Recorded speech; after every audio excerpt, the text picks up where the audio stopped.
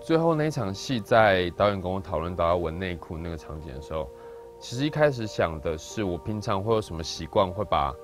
东西拿在手上之后就拿起来闻。我想白内裤的话，呃，是一种气味。我就开始很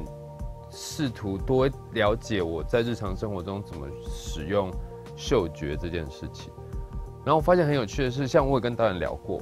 在捷运上，我常会忽然闻到某一个牌子的护发乳的味道。那它会给我的感觉或连接是，我之前认识过的女生，或者是我在什么样的回忆或情况下或房间里，我闻到过这个味道。那我觉得这是一个一个对我们所爱的，或者是所啊、崇拜的、崇慕、爱慕的人的一个气味的幻想和眷恋。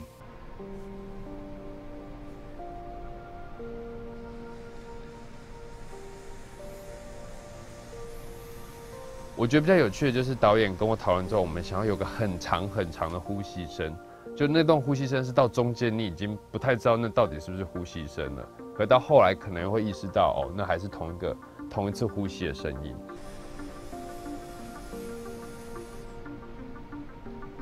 其实，在拍的现场，我吸了好多次，会都都都到都到已经有点头晕的状况。可是我觉得，在我看的时候，我第一次的呼吸，在我看的时候的感觉是，我会只有那个外国人的形象的穿着内裤的样子，还有他的味道。可是当第二次呼吸的时候，这些画面好像就消失了，好像我开始可以比较了解他很享受、很喜欢，然后接受，在他前全部前面电影所讨论到的，不管是性别啦、种族啦、不同的城市啦、国家，他好像因为味道而让自己更开放了一点点，更了解自己的一点点。